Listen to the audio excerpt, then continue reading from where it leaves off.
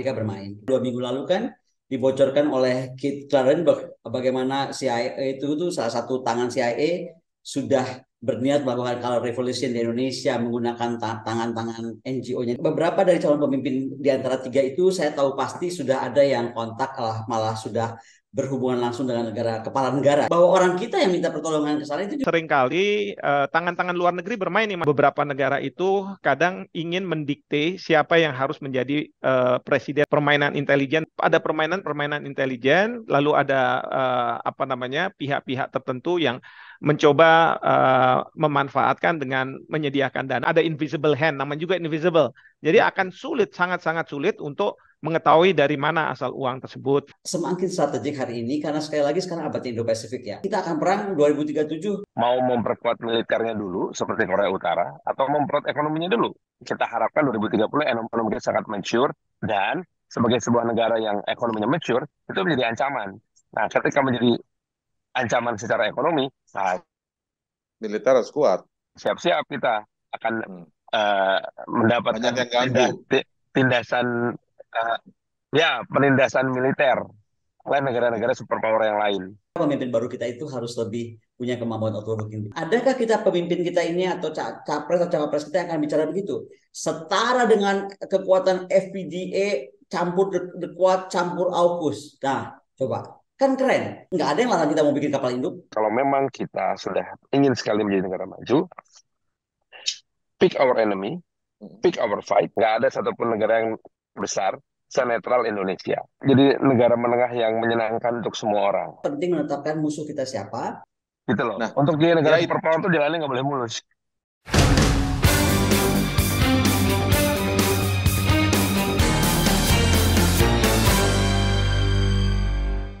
Salam cross check bersama saya Indra Maulana kembali di kanal YouTube metrotvnews.com dan medcom.id. Perkembangan geopolitik dunia saat ini begitu pesat dan sangat dinamis. Indonesia yang diprediksi oleh IMF sebagai negara keempat dengan ekonomi terbesar dunia pada tahun 2045 nanti, mau tidak mau harus aware dan aktif melihat perkembangan geopolitik dunia mulai saat ini. Hari ini hingga tahun depan adalah momentum kita menentukan siapa calon pemimpin nasional kita yang diharapkan bisa menyiapkan fondasi kuat menyongsong prediksi kita negara Indonesia sebagai negara keempat terbesar di dunia itu. Namun selama ini yang baru kita dapatkan dari dinamika para kandidat pemimpin nasional sejauh ini hanya seputar inward looking ya, ini meminjam istilah dari Bu Koni. Belum kita temukan kandidat yang menyampaikan soal outward looking. Seperti apa kriteria dan spesifikasi kandidat pemimpin nasional ke depan yang dibutuhkan negeri ini untuk menyongsong negara dengan ranking ekonomi empat besar dunia itu kami cross check kali ini dengan Dr. Kuni Koni Rahakundini Bakri, pengamat geopolitik dan pertahanan. Bu Koni, apa kabar? Halo, baik. Selamat siang. Sehat-sehat ya, Bu Koni ya. Halo Prof, halo Pak Farhan. Ada Bang Farhan, anggota Komisi 1 DPR RI. Bang Farhan, apa kabar di perjalanan ini kayaknya? Ya, Assalamualaikum. Punten, saya lagi dari perjalanan dari Jogja menuju Bandung dan pakai kereta. Oke, Waalaikumsalam. Terima kasih Kang Farhan waktunya di tengah perjalanan. Ada juga Prof. Hikmanto Juwana, Guru Besar Hukum Internasional. Prof. Hikmah, apa kabar? Baik, baik, Mas Indra. Sehat ya, Prof ya? Ya, oh, Pak Farhan, Bu Koni, ya. sehat. Ya, Prof, sehat. Oke. Kalau gitu saya mulai dari sudut pandang Bu Koni, karena tadi istilahnya, kata-katanya saya kutip dua kali tuh. Inward looking, outward looking. Beberapa kali di periode yang lalu di cross check kita sering membahas bagaimana Indonesia harus punya pemimpin-pemimpinnya uh, out apa visi tentang outward looking. Nah, ini momentumnya kan Bu Koni bentar lagi ada pemilu, Pilpres. Nah, kita lihat dari tiga nama kandidat yang sudah mulai mengkristal lah paling tidak ya walaupun belum didaftarkan ke KPU. Sudah Anda sudah melihat tidak dari sudut pandang masing-masing ini yang juga punya visi soal outward looking, nggak hanya uh, bicara kepentingan nasional saja, tapi kepentingan Indonesia untuk uh, ke dunia atau ke internasional, Bu Koni.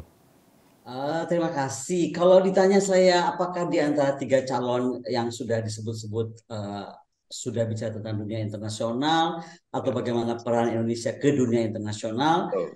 Saya kebetulan belum sempat berdiskusi langsung dengan Pak Ganjar tentang itu, juga belum sempat berdiskusi dengan Pak Anies tentang itu. Tetapi kalau dengan Pak Prabowo, kebetulan baru saja uh, kemarin kita menyelesaikan seminar nasional tentang strategi perang Nusantara. Hmm. Dan di strategi perang Nusantara itu memang akhirnya diarahkan uh, eh, TNI kita yang sudah outward looking defense. Jadi menjawab yang tadi ditanyakan, sudah lagi tidak inward. Meskipun uh, saya masih menyampaikan beberapa kritik karena menurut saya masih kagok gitu loh. Uh, outward looking defense-nya tuh masih tidak jelas ke batasan mana kita mau bergerak, seberapa jauh kita mau bergerak. Sementara kita sudah tahu pasti bahwa ke depan ini yang paling penting buat Indonesia lakukan adalah siapa pun pemimpin yang terpilih nanti, bagaimana kita bisa maintain sovereignty kita, kedaulatan kita itu paling penting ya.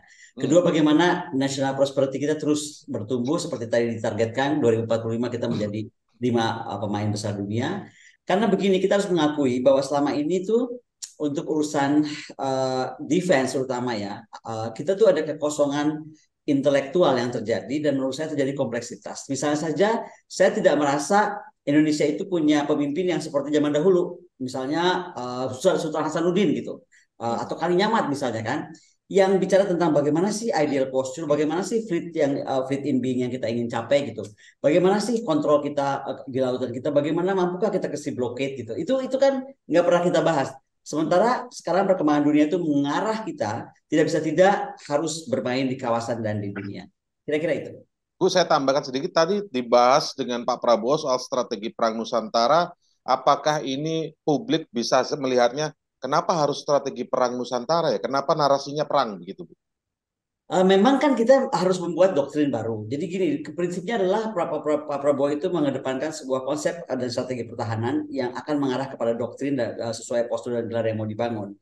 Uh, kenapa namanya strategi perang Nusantara saya nggak tahu, tapi uh, Pak Prabowo itu menariknya uh, Kemhan itu membagi dan itu yang saya tolak kemarin ya, hmm. membagi Indonesia itu menjadi lima pertahanan lima pulau besar, kira-kira gitulah. Hmm. Dan itu yang saya saya merasa bahwa uh, ini bahaya akan bisa mem, apa ya uh, menodai pembukaan Undang-Undang Dasar 45 hmm. karena menurut saya itu sama aja dengan kita kembali ke zaman dulu TZMKO yang tiga mil laut atau hmm. atau apa Juanda ke 12 mil laut pernah kita sudah disatukan oleh UNCLOS Uh, tapi kan ini masih masih di baru saja diperkenalkan. Jadi masih sangat membuka masukan-masukan dari dari akademisi, dari dari publik itu. Tapi kritik saya pertama adalah itu kenapa mesti model pertahanan pulau besar. Makanya namanya mungkin jadi Nusantara itu. Ya, Menurut ya. saya harus pertahanan pulau besar, sedang dan kecil. Semua pulau aja kita kan negara kesatuan. Ya. Kemudian bagaimana buat saya adalah paling penting menempatkan uh, di pulau-pulau terdepan kita 111 pulau itu uh, bagaimana dengan dengan tentara yang sudah harus mampu menduduki dan untuk uh, pulau-pulau strategis perbatasan yang 12 kalau nggak salah itu itu harus bukan cuma tentara bukan regu tentara biasa tetapi juga tentara pasukan khusus ini mengingat misalnya Indonesia itu akan semakin uh, apa ya seksi posisinya karena kita urat nadi Asia Pasifik nah, itu dia. Asia Pasifik dan kita belajar dari Snake Islands-nya uh, apa Ukraina misalnya di di hmm. Laut Hitam itu kan harus terjaga. Contoh sekarang kita lihat sepadan Ligitan. Sepadan Ligitan sekarang full deployment dari tentara di Raja Malaysia. Nah, kenapa kita waktu itu tidak melakukan itu? Itu salah satu yang saya bahas kemarin. Saya kira itu. Oke, nanti saya ingin perdalam soal alasan apa sih yang kemarin tadi disampaikan oleh uh, tim Pak Prabowo mungkin atau Pak Prabowo langsung soal membagi Indonesia menjadi lima wilayah besar, Bu. Tapi saya ingin lihat pandangan umum dulu di awal-awal ini ke ke Bang Farhan ya. Bang Farhan, Anda melihat kira-kira isu apa namanya geopolitik apa yang harus dimiliki atau dipahami lah maksudnya dan punya visi strateginya uh, bagi para kandidat ini Anda Anda melihatnya seperti apa karena Anda kan ada di Komisi Satu tentu melihat harusnya pemimpin nasional ke depan kita adalah memiliki spesifikasi seperti A B C D untuk isu-isu uh, geopolitik dunia ini. Oke, secara postur anggaran memang kita ini sangat fokus kepada pengamanan dalam negeri, jadi sangat inward looking. Outward lookingnya sudah bagus secara studi akademis, tetapi pelaksanaan dan komitmen anggaran untuk outward looking masalah pertahanan ini itu masih masih belum bisa realisasi gitu dan hmm, masih agak sulit untuk dikritik ya. Jadi ketika saya uh, mengkritik bahwa saya tidak melihat ada uh, niat dari Kemenhan untuk melakukan riset gitu sehingga yang namanya KFX dan lain-lain jadi terbengkalai gitu ya. Yeah. Uh, termasuk tidak adanya keterbukaan mengenai riset yang dilakukan industri pertahanan Indonesia gitu itu uh, kita jadi bertanya-tanya dan ternyata benar ketika lihat postur anggarannya ternyata memang riset anggaran untuk riset itu di Kemenhan itu kecil sekali. Hmm. Nah lalu banyak yang membandingkan dengan uh, pandangan yang sangat sempit. Lalu kenapa polisi, kepolisian gitu, punya anggaran yang Besar. eh, besar ya. Besar tuh artinya secara proporsional. 137 triliun untuk 5 unit organisasi di Kemenhan, sedangkan 118 triliun untuk satu unit kepolisian. gitu. Artinya apa? Kalau saya lebih melihat bahwa memang kita semua sekarang ini berfokus kepada inward looking terhadap masalah pertahanan dan keamanan. Ah, jadi memperkuat polisi dulu karena kita lebih khawatir sama apa yang dalam. Lalu bagaimana dengan keluar? Keluar kayaknya kita memang harus eh, mengerti bahwa dari sejarahnya itu sampai sekarang ya, eh, setiap negara yang kuat ekonominya pasti kuat militernya. Dan ketika militernya jadi kuat, ekonominya makin kuat. Tetapi ketika ekonominya bangkrut, maka militernya ikut bangkrut.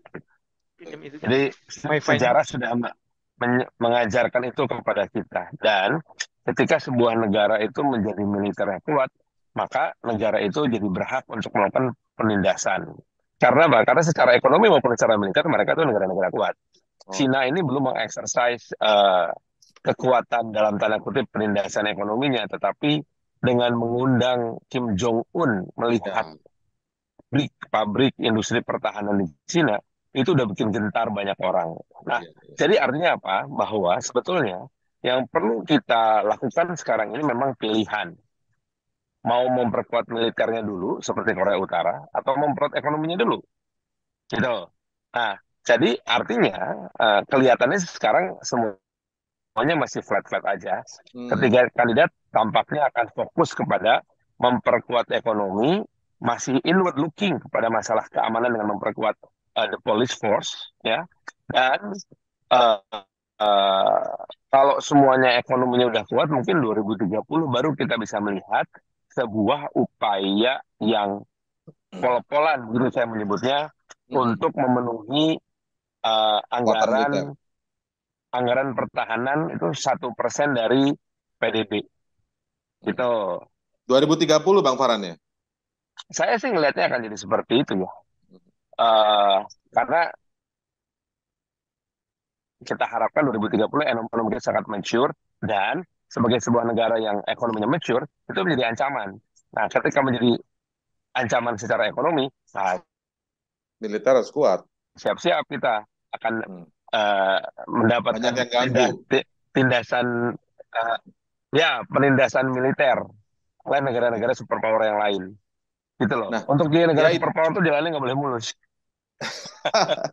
Oke, nah itu sebenarnya yang kita coba ulas karena kan ini berangkat dari prediksi ya kita nggak tahu tapi Mungkin kalau tadi Bang Farah melihat eh, secara apa di dalam pun ekonomi pun flat, militer pun juga masih flat, apa strategi pertahanan ya. Nah, tapi kalau kemudian ada prediksi seperti itu, jangan-jangan baru prediksi ini. Ya kalau memang benar-benar sudah mulai kuat ekonominya gitu Kang Farhan. Ini bahkan malu baru prediksi nanti sudah mulai takutnya nih, khawatirnya kan.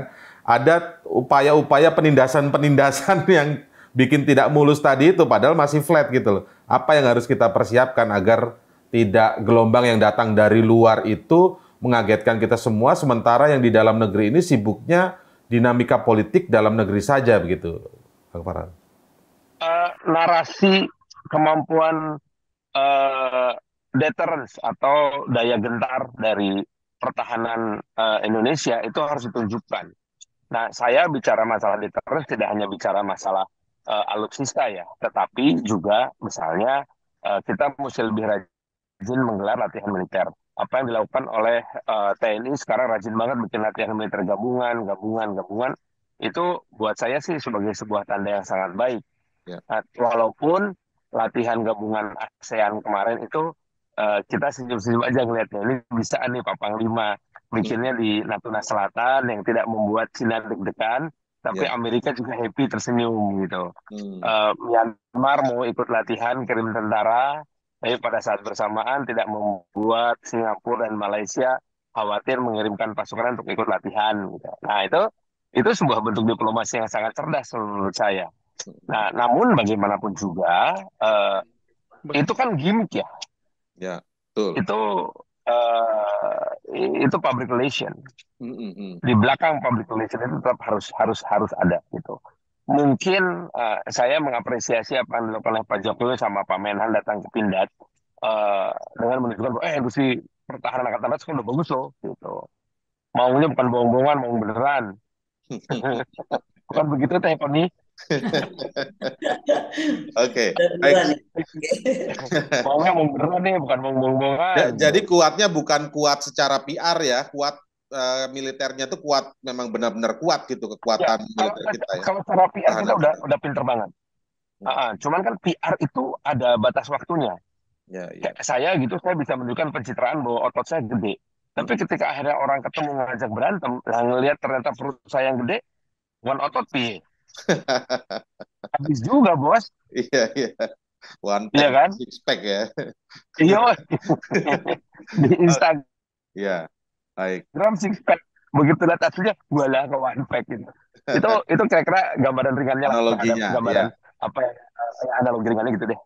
Saya ke Profik sekarang. Profik, Anda melihat seperti apa kandidat kita ini dalam konteks tadi pembahasan yang sama agar juga punya outward looking kesadaran dan hanya dan tidak hanya kesadaran tapi ada visinya dan misinya seperti apa karena tidak cukup sekarang uh, tentu saja seorang uh, pemimpin nasional sibuk dengan uh, apa masalah-masalah dalam negeri saja, tapi harus siap dengan masalah-masalah luar negeri, strategi apa yang akan dilakukan, kemudian ada prediksi soal Indonesia berada menjadi apa kekuatan terbesar keempat ekonomi dunia gitu kan. Ini kan pasti gangguan-gangguan tadi seperti disampaikan Bang Farhan sebelumnya jauh-jauh waktu juga Bu Koni sering ngomong eh, kayak seperti ini, ini nggak nggak lama akan diganggu nih Indonesia ini. Kalau um, menuju ke empat ekonomi terbesar itu mungkin karena apa bonus demografi mungkin ya. Bagaimana Profik? Calon pemimpin nasional ini momentumnya soalnya. Oke, kalau kita bicara calon pemimpin nasional dan kita bicara uh, bakal calon presiden, ada tiga kandidat dan tiga itu kalau saya lihat karakternya memang ada yang sama, ada yang beda dalam konteks uh, luar negeri ya. ya. Uh, dua uh, memiliki pengalaman pendidikan di luar negeri. Uh, satu tidak, tetapi jangan juga meremehkan yang tidak mempunyai uh, di pendidikan negeri. di luar negeri, karena kita tahu presiden kita Jokowi, uh, beliau sangat piawai ya dalam konteks bagaimana memanage Indonesia dalam uh, geopolitik yang ada sekarang. Nah, jadi memang ada yang punya uh, pengalaman uh, luar negeri, ada yang tidak, tetapi uh, tidak berarti bahwa beliau-beliau itu tidak mampu untuk membawa Indonesia dalam uh, kancah geopolitik di uh, uh, di apa namanya di internasional. Hanya saja yang perlu di, uh, diwaspadai adalah uh, sering kali tangan-tangan uh, luar negeri bermain nih Mas Indra. Maksudnya ya. gimana nih tangan-tangan luar negeri? Nah, tangan-tangan luar negeri ini baik yang secara inkonstitusional maupun secara konstitusional. Jadi kita tahulah uh, beberapa negara itu kadang ingin mendikte siapa yang harus menjadi uh, presiden atau pemimpin di negara oh. tertentu. Hmm. Nah, itu permainan intelijen pasti ada di situ. Sudah Bahkan mulai berjalan mereka, ini kira-kira ya, pasti begitu ya? Pasti kayak begitu. Uh, kita kita nggak bisa menafikan hal tersebut ya. Saya ambil contoh misalnya ya, uh, Amerika Serikat aja kan ada dugaan bahwa uh, apa uh, Rusia berada di belakang ini. Atau misalnya kita bicara soal uh, ada negara tetangga kita yang mendapat dana kampanye untuk kemudian hmm. memenangkan dengan harapan bahwa pemimpin itu nantinya akan uh, lebih lunak terhadap uh, negara yang melakukan klaim yang tidak memiliki dasar dalam konteks internasional yang uh, diprotes oleh banyak negara begitu. Nah, ini yang kita harus waspadai. Ada yang katakanlah secara inkonstitusional sebenarnya perubahan pemimpin yang secara inkonstitusional. Kita misalnya uh, tahulah di Indonesia uh, ketika Bung Karno uh, kemudian digantikan oleh Pak Harto, Uh, tentu kita akan mengatakan bahwa ini semua adalah proses di Indonesia. Tapi kalau kita dengar dokumen-dokumen yang bisa dibuka di Amerika Serikat, di situ juga ada peran dari CIA oh. seperti itu kan? Ya. Tetapi juga yang yang yang konstitusional uh, juga ada gitu ya. Uh, tadi yang saya katakan uh, pendanaan dan lain sebagainya, bahkan juga tempering dengan uh, teknologi Ya, ini yang menurut saya kita harus waspadai. Jadi pendanaan jangan, yang tadi kan disebut konstitusional berarti kan yang legal maksudnya ya. Pendanaan Ya. itu seperti apa maksudnya Pak Profik? Pendanaan Sebenarnya gini, apanya? yang saya maksud adalah pergantian pemimpin itu bisa secara inkonstitusional, bisa secara konstitusional. Oh, Inkonstitusional dan konstitusional itu ada permainan-permainan intelijen, lalu ada eh, apa namanya pihak-pihak tertentu yang mencoba eh, memanfaatkan dengan menyediakan dana, tetapi tentu tidak secara langsung. Jadi ada eh, mekanisme-mekanisme yang eh, dilakukan sehingga apa? Nantinya ketika memimpin eh, tentu dia akan lebih lunak dengan pihak-pihak yang eh, mengendorse atau misalnya memberikan dana-dana yang eh, tertentu itu. Kira-kira seperti itu ceritanya. Jadi ini yang kita harus eh, pahami ya. Bagaimana Saya- mengetahui dan mengontrol itu bagi masyarakat ya ketika ingin memilih calon pemimpinnya? Kan kita berharap nih eh, apa namanya kita jadinya ini agak kita tarik lebih lebar sedikit ya Prof ya. Kan masyarakat ini diedukasi secara politik agar memilih calon pemimpinnya itu dengan rasional. Nah, rasional itu dengan apa? Dengan mengetahui gagasan-gagasannya, maka ada perang gagasan dan lain sebagainya, debat kita ikuti dan lain sebagainya, seperti juga perbincangan kita sekarang ini. Bagaimana melihat kandidat calon presiden kita memiliki outward looking yang juga cukup komprehensif, tidak hanya inward looking. Tapi ketika Prof. Vick tadi menyampaikan bahwa kita harus mewaspadai bahwa ada tangan-tangan asing dalam artian intelijen negara-negara lain yang ingin mendikte eh, kita dan menentukan siapa calon presidennya, bagaimana peran masyarakat untuk mengetahui dan apa namanya ini ini akan ada ada permainan-permainan dari intelijen begitulah Prof. Prof. Vick. Gimana caranya kita untuk mengetahui itu? Caranya ada dua, sebelum dan ses- sesudah yang bersangkutan terpilih. Sebelum itu tentu masyarakat harus eh, melempar eh, pertanyaan-pertanyaan yang kritis terhadap posisi mereka. Jadi harus jelas posisinya apa ketika ada isu tertentu. Misalnya kita harus bertanya, posisi terkait dengan hilirisasi seperti apa? Oh, iya. ya. Ya.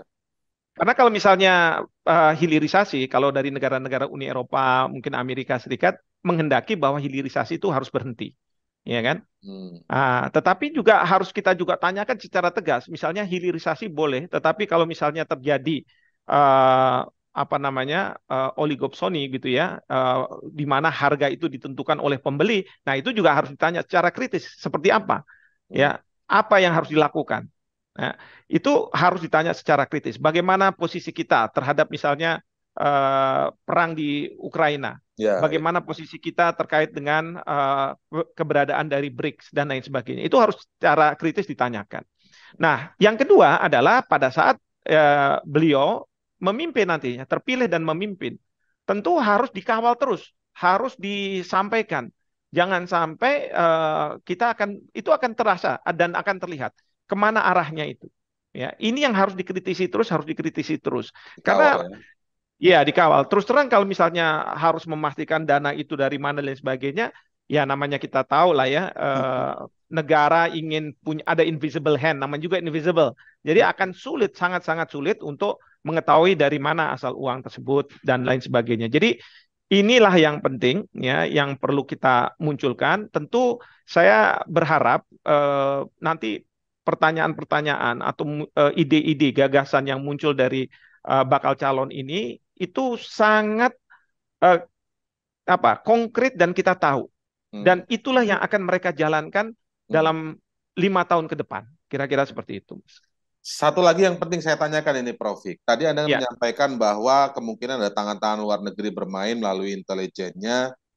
Itu sifatnya lebih kepada inisiatif luar negeri melalui intelijennya masuk ke Indonesia atau jangan-jangan dari dalam yang mau nawar-nawarkan itu agar dibantu pemenangannya. Prof. Ya itu eh, bisa dua-duanya sebenarnya tapi Bisa dua-duanya ya. kalau Bang?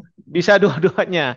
Jadi kita nggak bisa menafikan salah satunya kalau menurut saya. Tetapi eh, dari sisi saya yang penting itu adalah eh, kalau kita menawarkan itu kan dalam artian bahwa kita tahu bahwa posisinya seperti ini dan kita menawarkan.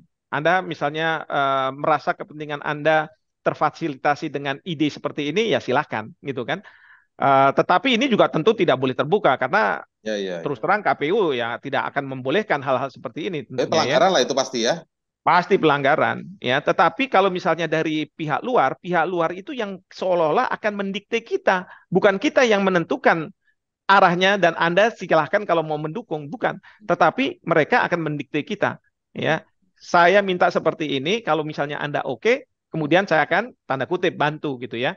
Tetapi ini kembali Tapi lagi ini sering-sering didengar Prof Hikmanto, sering didengar isu-isu seperti ini. Maksudnya dari dalam menjelang pencalonan datang ke kemungkinan salah satu apa lembaga intelijen di luar yang kuat gitu terus membantu bantu saya untuk pemenangan di dalam negeri saya gitu mungkin tuh Prof ya. Ya dari waktu ke waktu saya dengar seperti itu.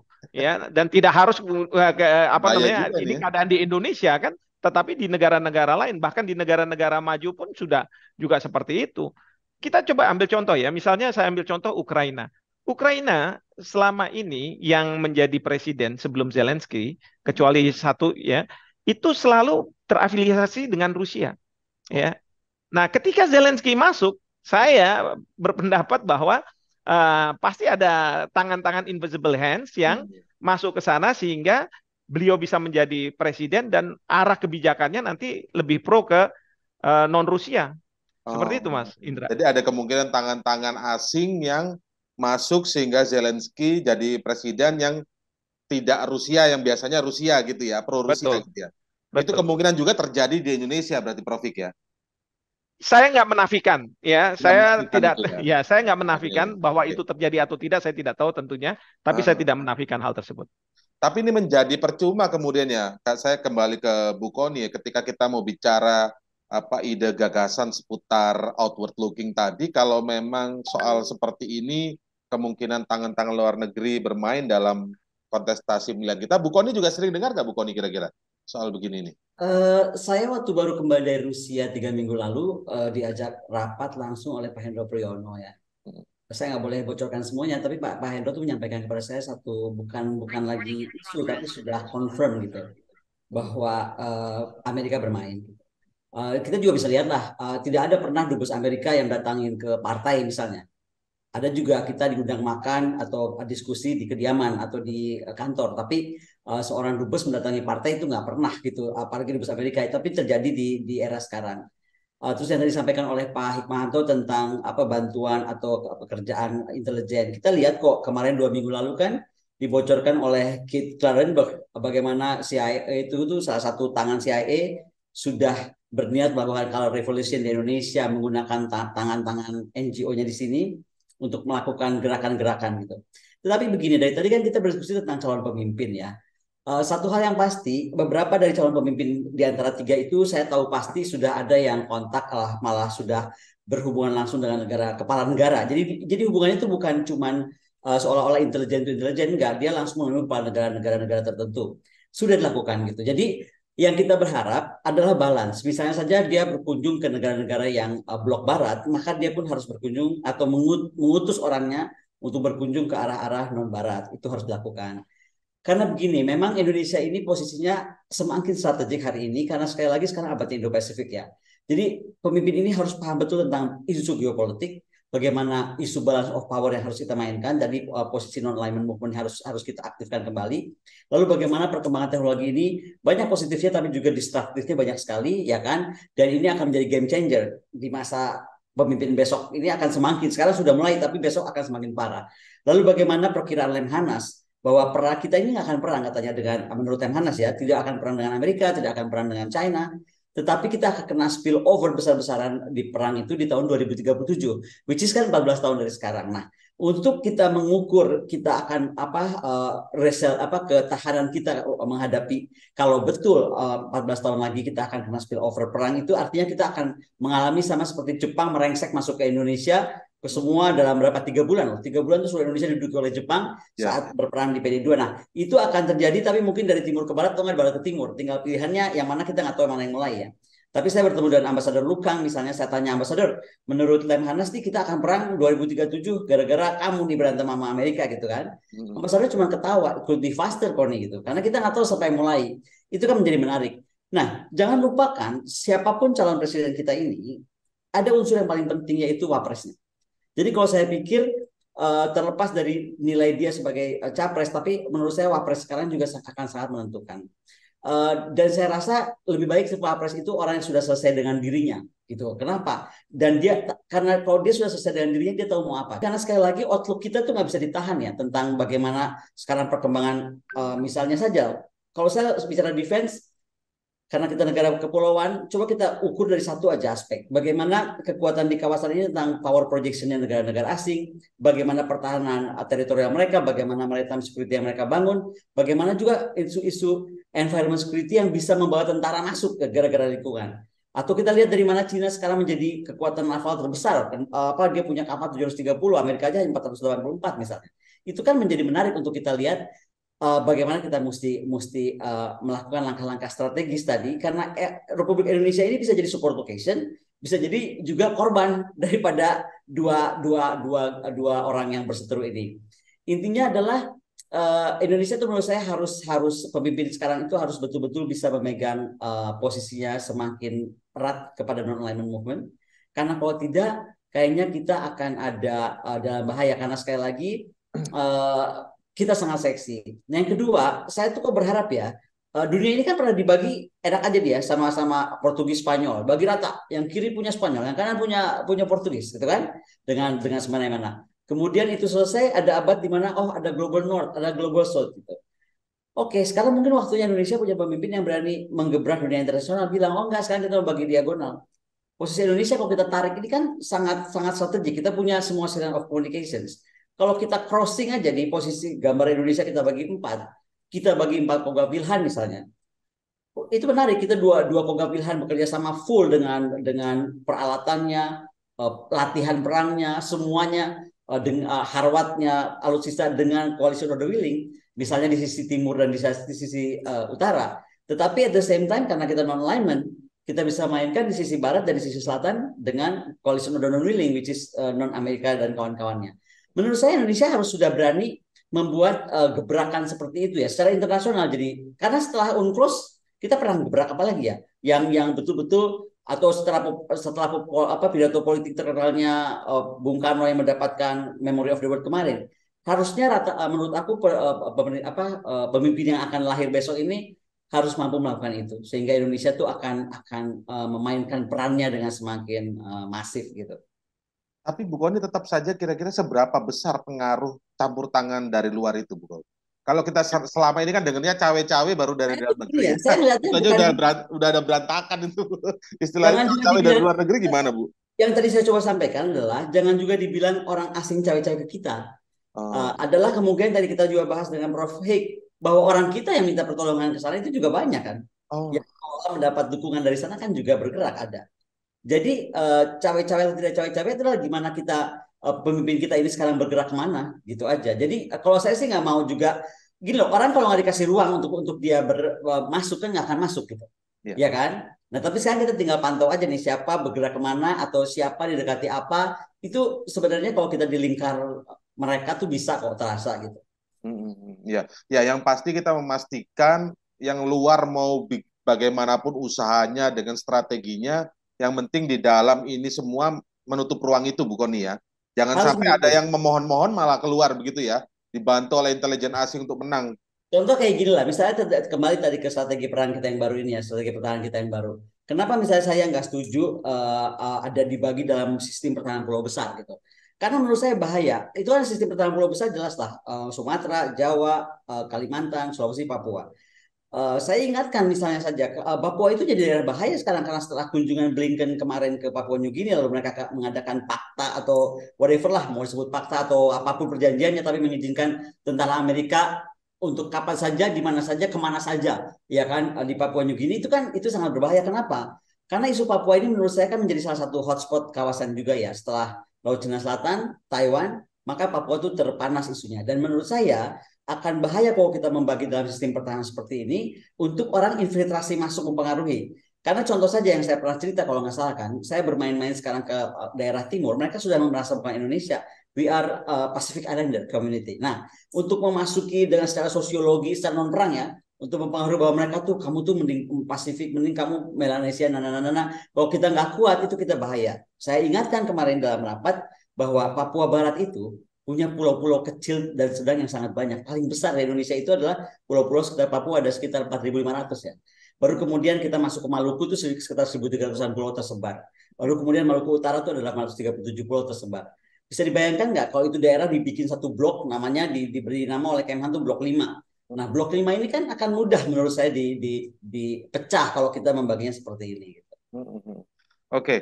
Baik. Bang Farhan, boleh saya lanjutkan juga nggak kalau dari sudut pandang Bang Farhan melihat seperti isu tentang apa kemungkinan-kemungkinan yang pernah didengar oleh Profik, Bu Koni, bahkan pernah sudah membahas dengan salah satu nama tadi yang disebut Bu Koni, uh, ada tangan-tangan asing mungkin melalui intelijennya untuk bisa cawe-cawe, tanda kutip, uh, atau campur tangan lah biar istilahnya beda ya, uh, bermain di pemilu 2024, Bang Farhan.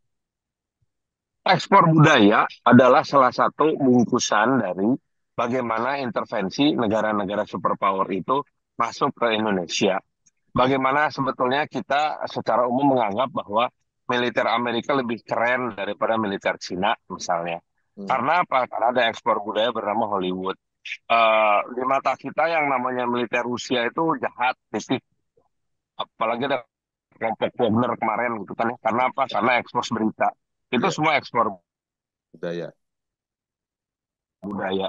Padahal kita juga tahu yang namanya Blackwater sama aja jahatnya. Jadi uh, bagaimanapun memang uh, hal seperti itu terjadi setiap hari setiap saat. Itulah yang saya maksud dengan intervensi atau uh, uh, ngobok-ngobokinya negara-negara superpower terhadap Indonesia. Keberadaan LSM-LSM yang digunakan untuk melakukan lobby, membentuk uh, kelompok penekan dan lain-lain itu udah udah hal yang sangat terjadi sehari-hari.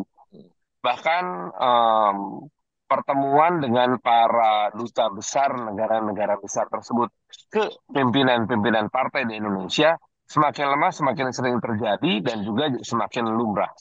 Bahkan partai-partai besar di negara-negara seperti Inggris, Australia itu memiliki uh, representatif di Indonesia yang melakukan kerjasama juga dengan anggota-anggota parlemen di Indonesia termasuk saya untuk hmm. melakukan dialog-dialog tentang paham-paham.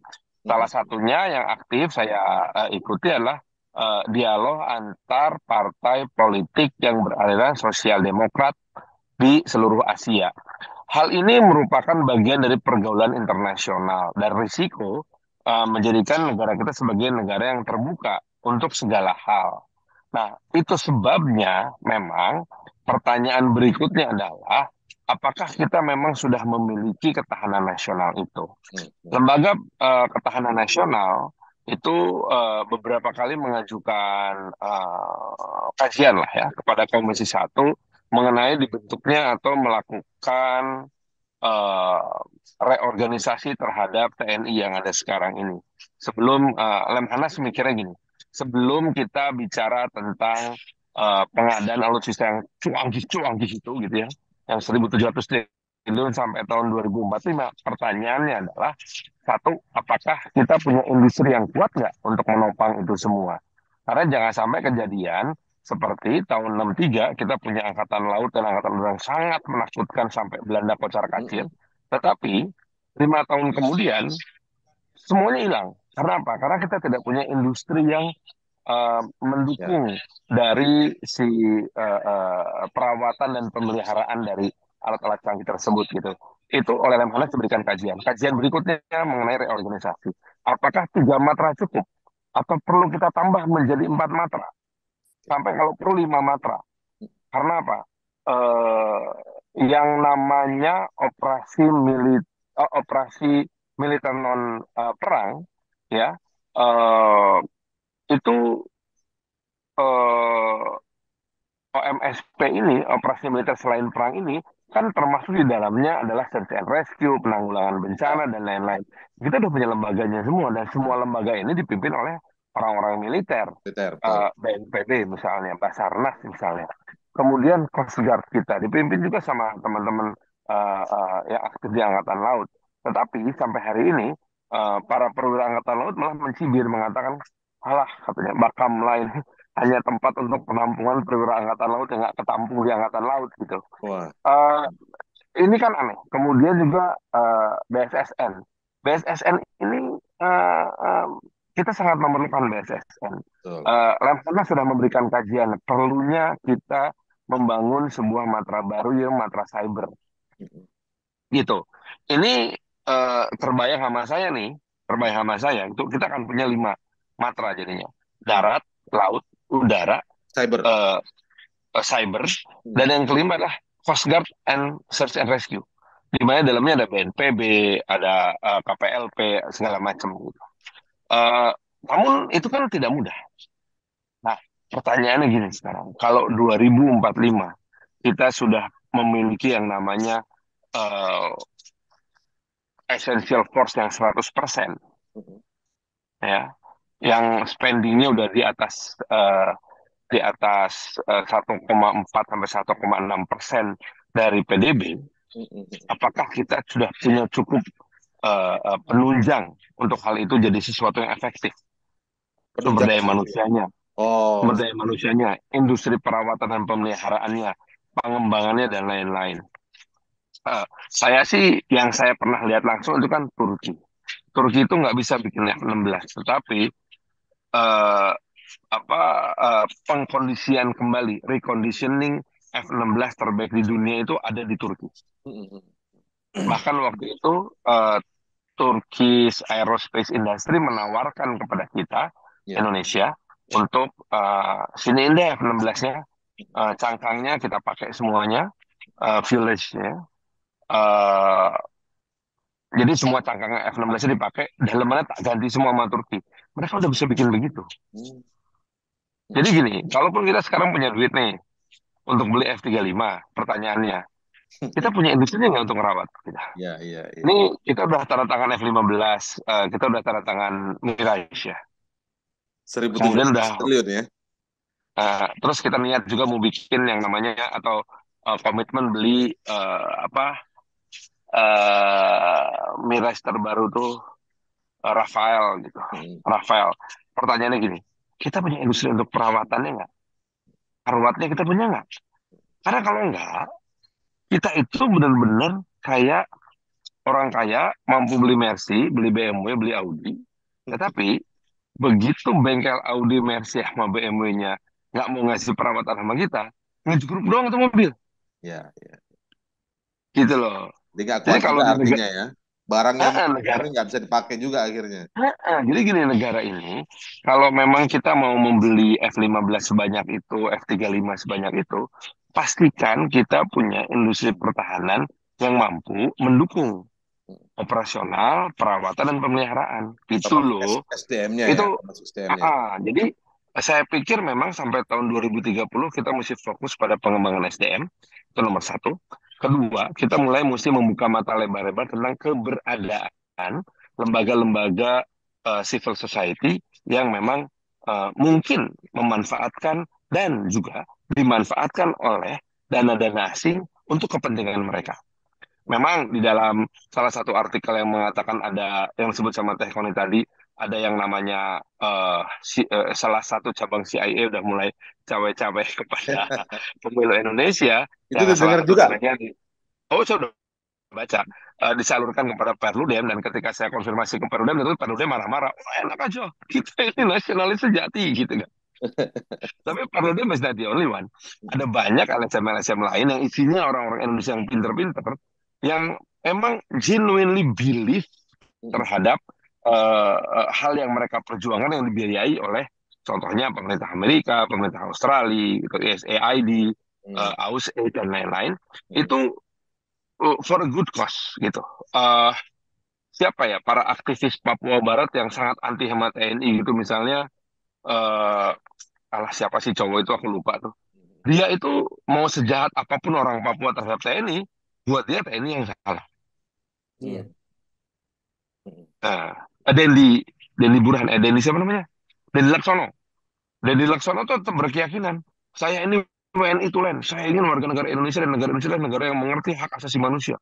Saya tidak suka TNI yang jahat kepada orang Papua. Nah, ketika kita tanya, terus kenapa orang eh, si KKB Papua ini membantai 32 pekerja eh, jalan raya di sana? Oh ya karena mereka nggak ngerti budaya Papua, jadi wajar aja dibunuh gitu.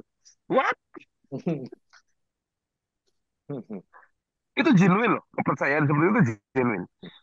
Gitu ya. Itu kita nggak bisa nggak bisa kemudian dengan mudah mengatakan, ah lu diongkosin Amerika, lu enak aja lu gitu. Hmm. Enggak. Atau fakta lain. Ah, kenapa koopsus bisa dengan mudah, bukan dengan mudah, dengan berhasil memberantas uh, semua uh, pelaku teroris jaringan Santoso di Poso. Okay. Karena memang uh, diberi pinjaman alat uh, satelit telekomunikasi yang canggih sekali dari Australia dan Amerika. Uh, karena medannya sama beratnya dengan di Papua. Tapi kenapa di Papua kita nggak bisa? Ya karena satelit komunikasi nggak dipinjemin hmm, hmm. sama Amerika dan Australia. Lah kan kita nggak berani nanya. Kemarin Kamala Harris ke sini ditanya juga enggak. Kenapa sih kamu nggak mau minjemin? Harusnya sangat iya, mudah kan? kalau itu dipinjemin ya. Selesai itu semua ya. Harusnya harusnya iya karena selama tahun 2021 saya berkali-kali ke sana uh, ya sempat belusukan sedikit tapi nggak berani jauh-jauh di Papua gitu. Problemnya adalah uh, hutan lebat Papua itu sama dengan di Poso yang namanya sinyal telepon nggak ada, komunikasi HT biasa nggak tembus. Hmm. Harus pakai L-band itu loh, teknologi satelit L-band okay. yang ada di low orbit. Nah, punya kita kan kena tuh, kena kasus KPK satelit komunikasi pertahanan itu.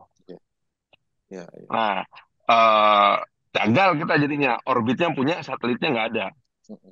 Nah, maka waktu itu kita pinjam ke Amerika untuk memberantas Santoso dan kawan-kawan di Poso. Dan nah, itu, itu berhasil pinjam. ya, itu berhasil ya waktu itu ya. Harusnya juga berhasil, berhasil. ya. Oke. Okay. Betul. Tapi KKB nggak, KKB nggak dipinjemin di ya. Papua. Ada kepentingan nah, ini kan, yang berbeda di situ ya. Ada kepentingan yang beda berarti ya. Iya, ada kepentingan isu betul, ada kepentingan isu yang berbeda yang uh, tentu saja uh, uh, mewarnai uh, si penyikapan dari negara yang tersebut pada Indonesia, gitu loh. Oke. Okay. Bang Farhan, tapi kalau Bang Farhan melihat dari apa namanya poros-poros yang akan bertanding ini memang ada yang sudah juga bisa atau dulu-dulu lah sebelum kontestasi-kontestasi sebelumnya yang justru inisiatif datang untuk minta dibantu oleh uh, negara lain dalam ini intelijen asing itu, Bang Farhan. Sebetulnya yang pernah menyampaikan secara uh, terus terang itu adalah presentasi pertamanya Pak Jokowi tahun 2014 di Pacific Place Jakarta.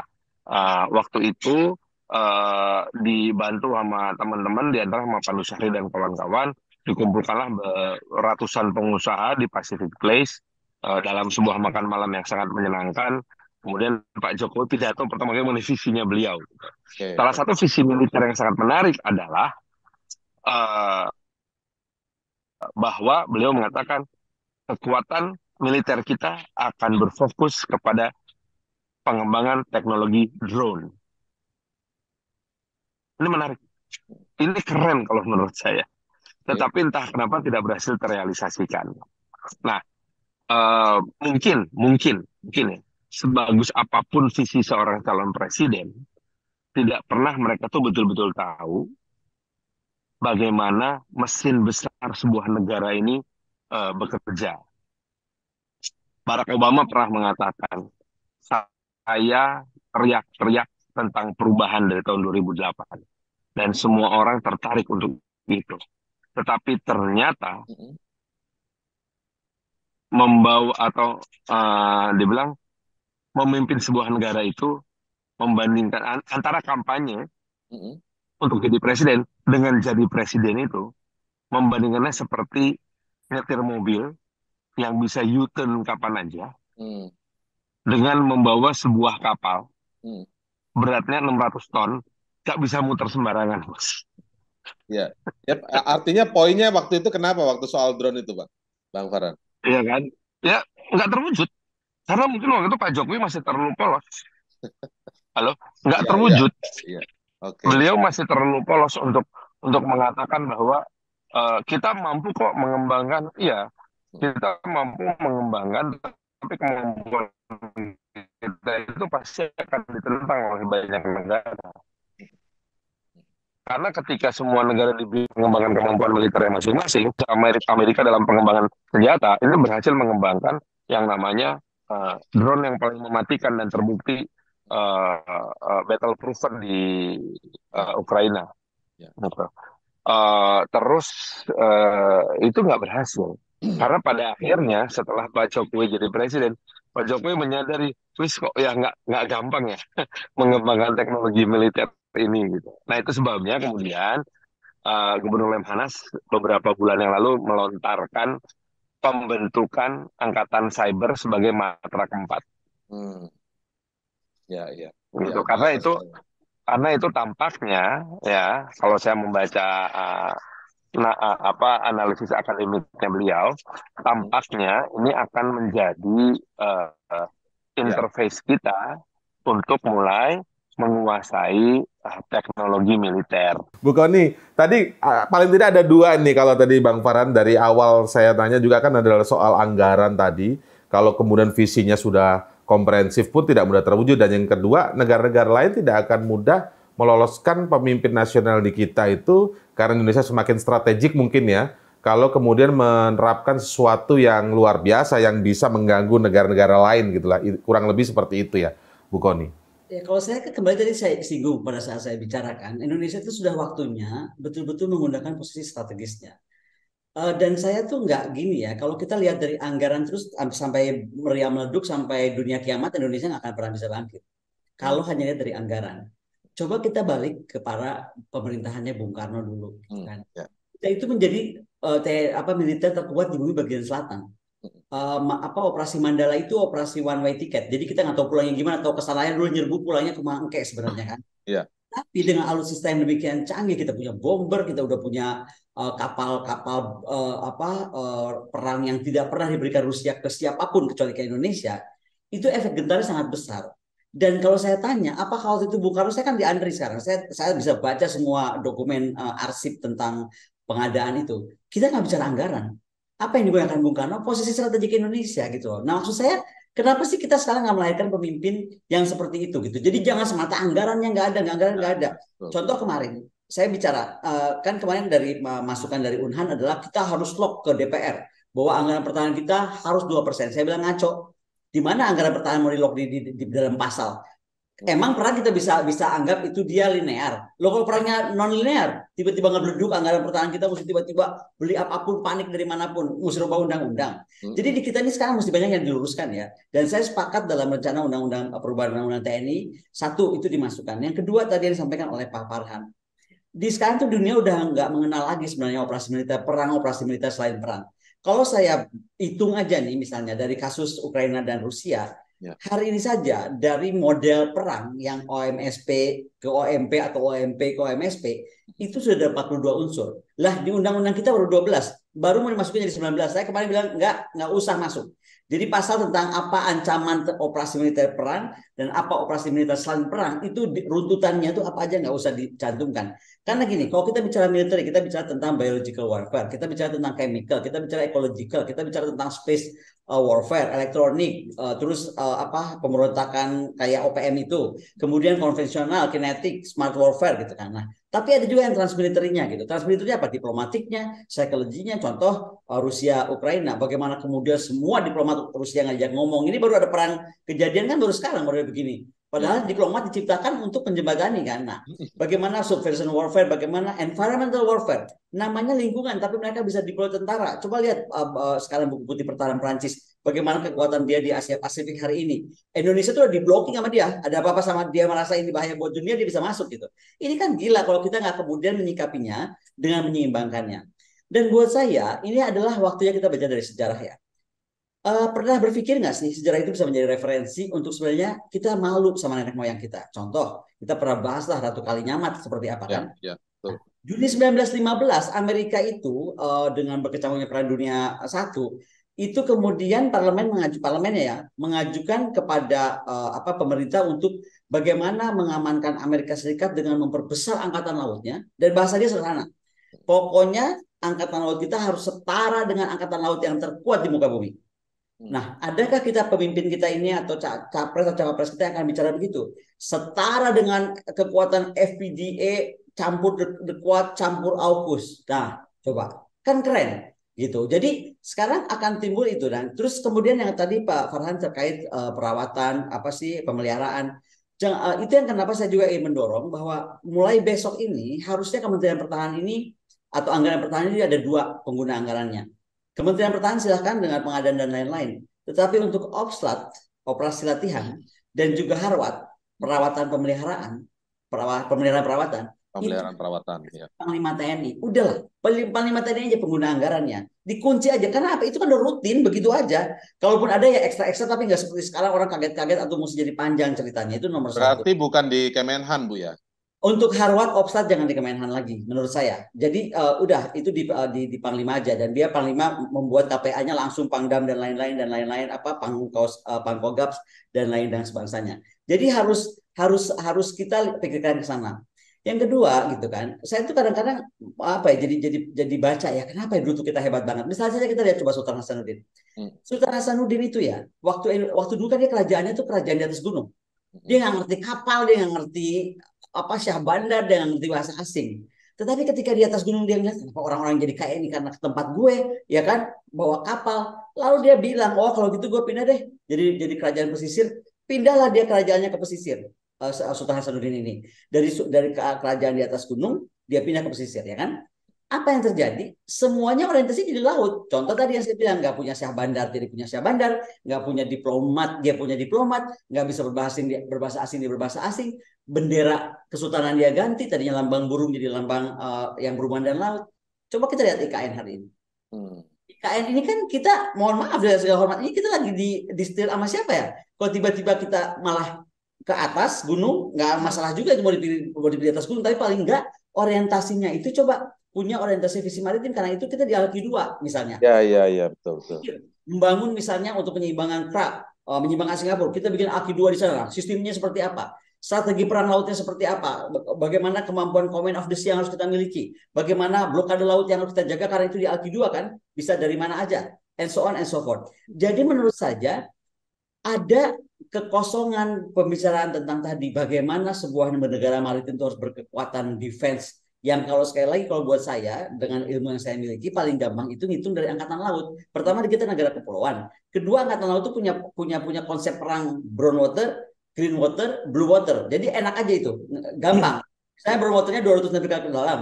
Si greennya sampai negara kawasan. Mereka bisa dideploy dengan dengan frigate-frigate yang kira-kira 100 meter lah gitu kan. Tetapi kemudian ujungnya blue water sesuai nawacita ada di luar samudra itu sudah perlu kapal induk gitu. Nah, kalau itu jelas, angkatan udara dan angkatan darat akan tinggal ngikutin aja sebenarnya udah enak. Cuma di kita ini kan ada ini mental mental constraint. Itu yang saya bilang kemarin. Kita tuh pusing ngomongin ini tuh, tapi doktrin kita nggak berubah-berubah. Doktrinnya kita tuh uh pak uh. Aduh nggak enak ya. Oh, oh kenapa sih itu itu angkatan laut yang lebih besar daripada gue? Gue ngapain? Nah kayak gitu-gitu. Jadi nggak nasional interestnya tuh menurut aku ada mentality constraint yang tidak atau membatasi kita untuk bicara tentang benar-benar si kepentingan nasional itu gitu.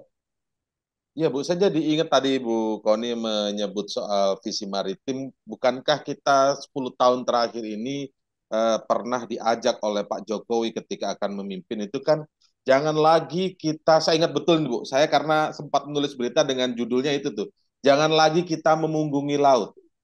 Tapi yang terjadi 10 hampir 10 tahun ini kira-kira kita masih jauh dari upaya untuk tidak memunggungi ya, laut. Saya, saya, saya mau bilang kalau ini kita mesti appreciate yang dibikin oleh Pak Hadi. Waktu Pak Hadi itu hampir jadi tuh ya, tapi kemudian Pak Hadi uh, berpindah tugas. Kemudian stagnan. Nah, sekarang Pak Yudo Margono itu kemudian mendorong uh, apa yang dido yang di, dicetuskan Kemhan. Tetapi kembali lagi, saya melihatnya sebagai akademisi ini kok nanggung gitu loh. Kayak kita mau jadi jadi ikan kecil di kolam kecil, mau diceburin ke laut, akuariumnya kita bawa ke laut. Jadi gitu loh, kayak ada masih ada benteng. Kayak tadi, looking defense sampai mana? Nggak ditentukan. Musuh kita siapa? Nggak disebut gitu loh.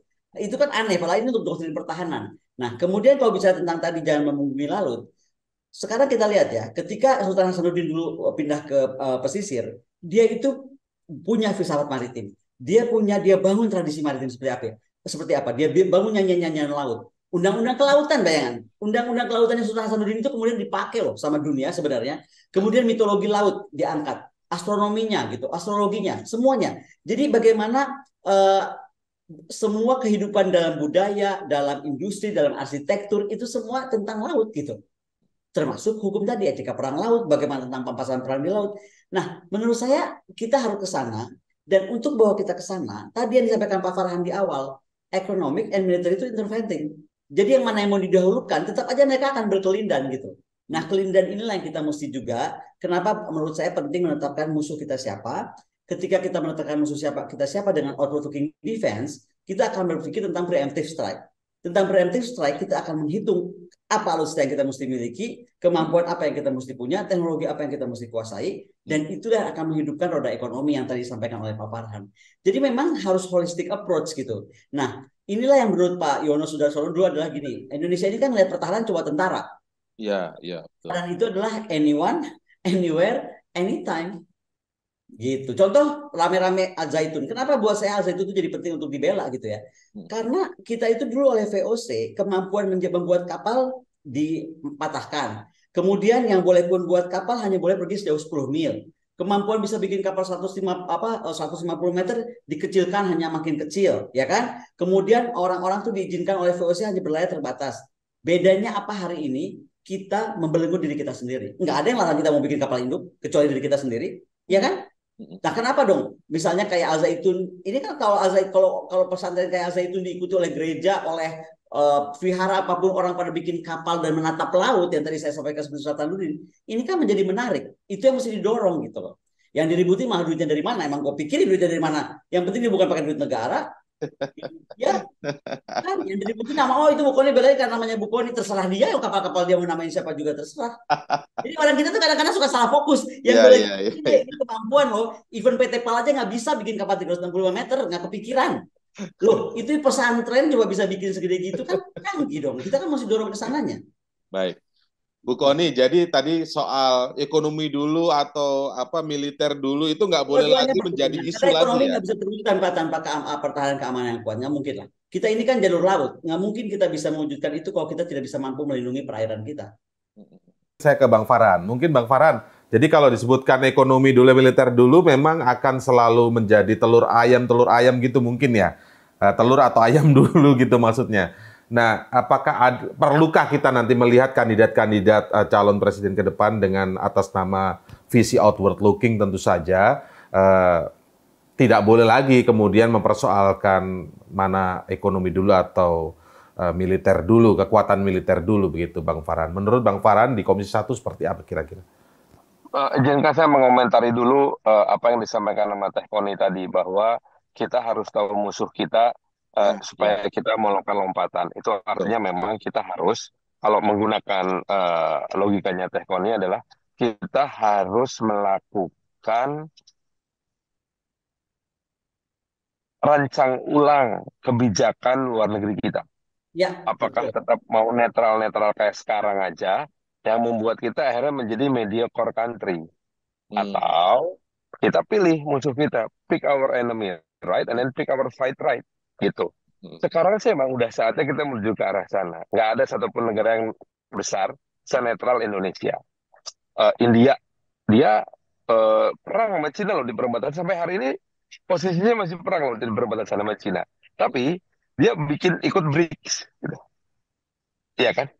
Uh, sama Rusia mereka bisa bikin industri kerjasama sehingga SU-35 bisa sebagian diproduksi di India. Tapi pada saat bersamaan India juga beli tuh Mirage dari Prancis. kan gila ya. Dan kemudian tiba-tiba India sekarang udah ngirimin uh, roket tanpa awak yang mendarat di kutub selatan bulan yang belum pernah bisa dilakukan oleh uh, Cina, in Amerika maupun Rusia. Mereka tuh semua di di kutub utara. Ini di kutub selatan loh.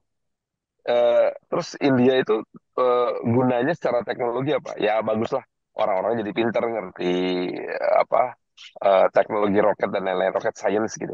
Tetapi itu membuat orang Amerika, orang Cina, sama orang Rusia itu gentar bos. Dengan India. Dengan India karena India berhasil melakukan uh, mendaratkan roket di kutub selatan bulan. Oh itu sinting mbak itu itu itu bikin deg-degan pak.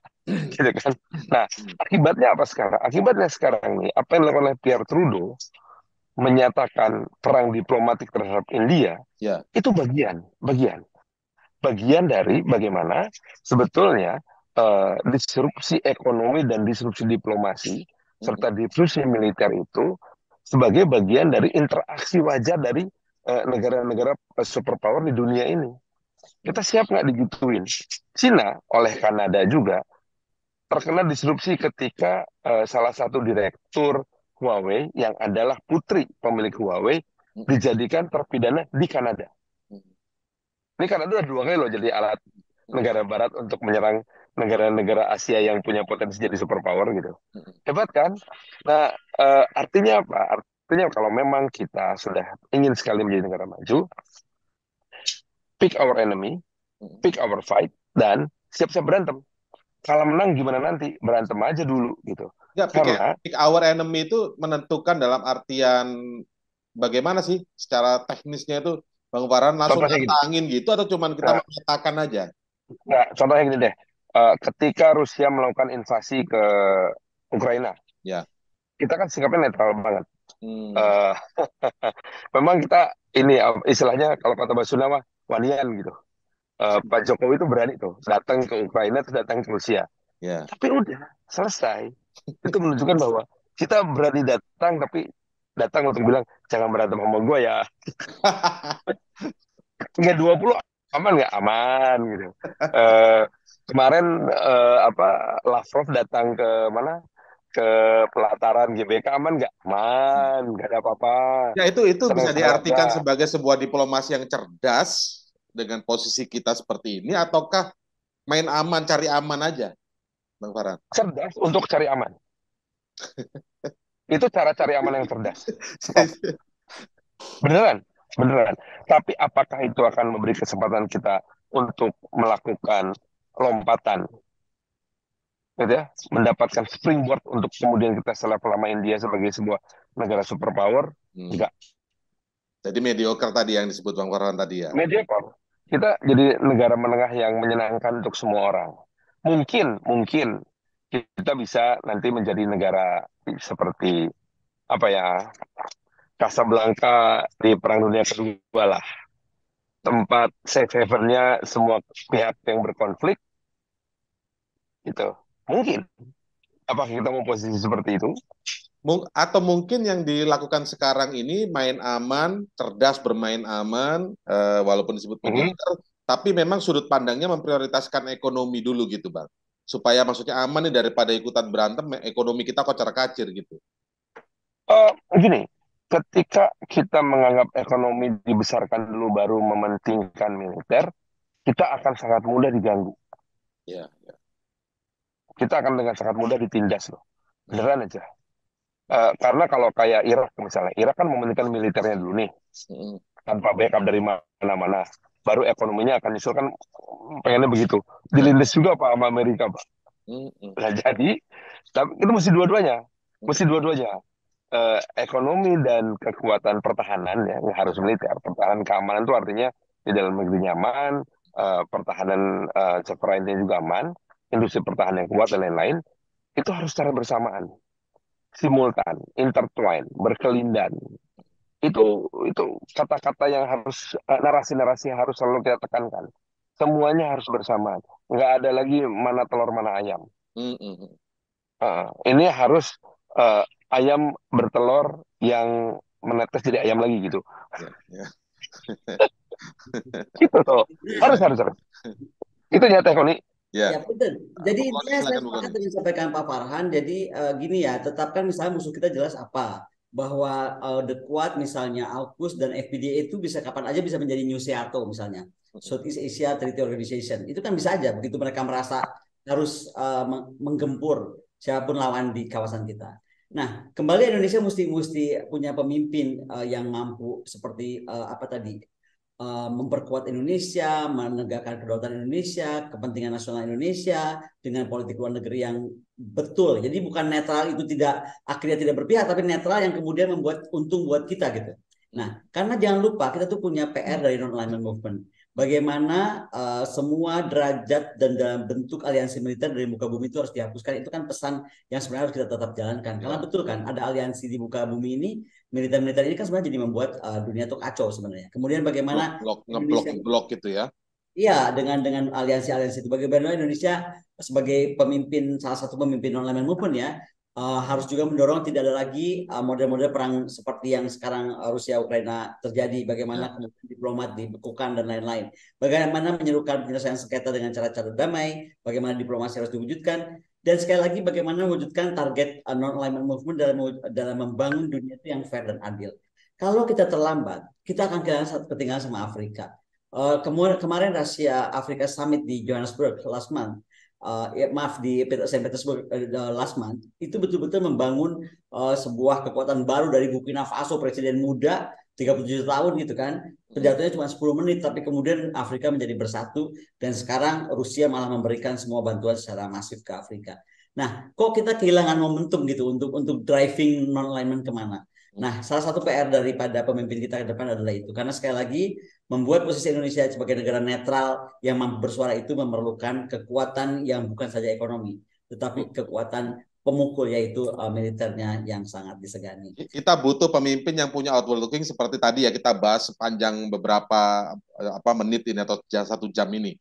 Ya. Tapi kan kalau mencari pemimpin yang seperti ini kan sementara sistem politik kita ini kan one man one vote one value satu orang semuanya suaranya sama.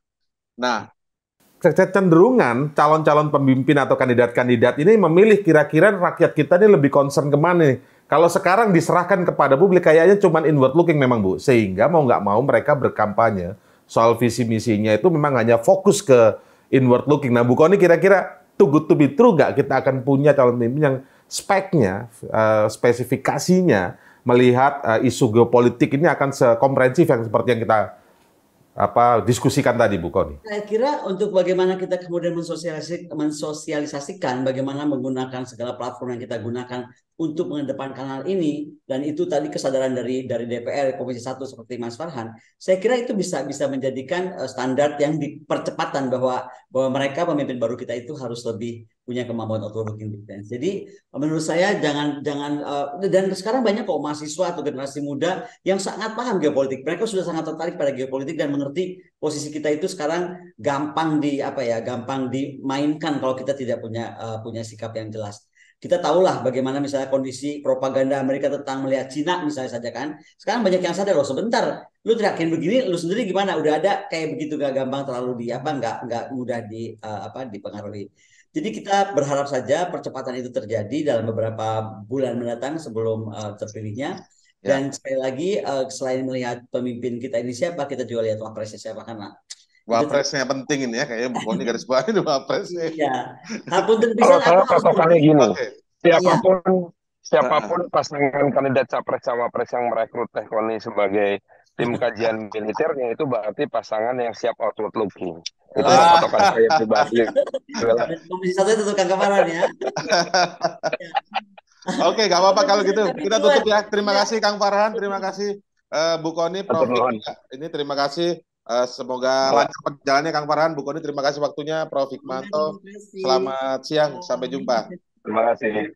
Baik, itu tadi diskusi kita dalam cross-check tentu saja di kali ini. Semoga kita uh, mendapatkan tambahan wawasan baru untuk Anda dalam menentukan calon pemimpin nasional. Tidak hanya melihat apa visi misi mereka, para kandidat ini soal kepentingan nasional di dalam negeri saja, tapi bagaimana calon pemimpin kita ini punya visi outward looking, atau melihat geopolitik sehingga Indonesia yang posisi strategik ini semakin kuat di mata dunia dan tidak mudah mendapat gangguan dari negara-negara lain. Dan tentu saja kita berharap kontestasi ini berjalan dengan fair, tidak ada tangan-tangan asing yang tadi sempat dibahas dalam cross-check, tidak ada tangan-tangan asing yang ikut cawe-cawe, campur tangan, apalagi cawe-cawe campur tangannya tangan asing melalui intelijen ini dimulai atau diinisiasi justru dari para kandidat yang mau bertarung. Semoga itu tidak terjadi. Dan demikian cross check, saya Indra Maulana. Sampai jumpa.